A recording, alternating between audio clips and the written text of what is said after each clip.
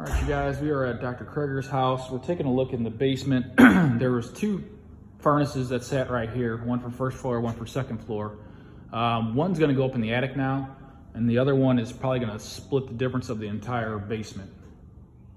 So unit will more than likely sit, sit right in this area.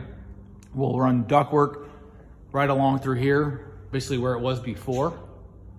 You still see the hangers. And again through here.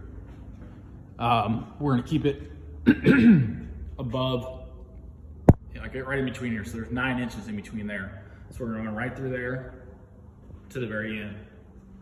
Is just the way it was ran before. Return same way. Coming back through here, you know, it's right here. So obviously gas pipe will need to be modified.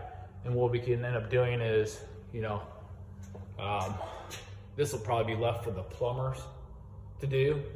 Uh, we'll look at teeing right off of this one.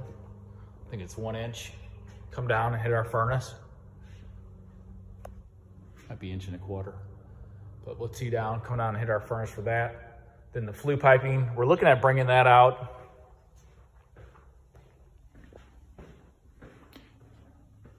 In this area. So this is where the air conditioners sit. I have to look at this back wall and see what we got, see if we can do that. And then PVC will come down and we'll probably have the furnace sit this way so we don't have to bring that around and catch that.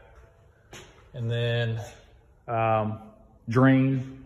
So floor drains right over here. I don't think there's another one in this area.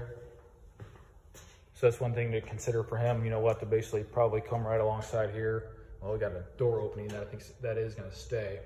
So we gotta be conscientious of the floor drain. I mean, we can always put it on a pump, you know, run across, come down this wall, and then, you know, hit our floor drain here.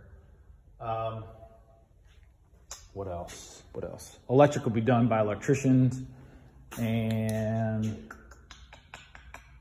line sets. Um, for first floor, obviously just running the same way, just longer length, getting probably a 50 footer. And uh, that's it. I mean, flue piping, ours will be removed. These two will just go for the water heaters if they go back with standard. Uh, I think trying to probably come out and give them a bid for uh, tankless. So we gotta make sure that we coordinate with him getting all the PVC out there. And then the ductwork. So uh, I'll get some numbers together and see where we go with that. Got a walkout basement. Door is right here currently, and it's gonna get moved over here, but we can come and go through the basement.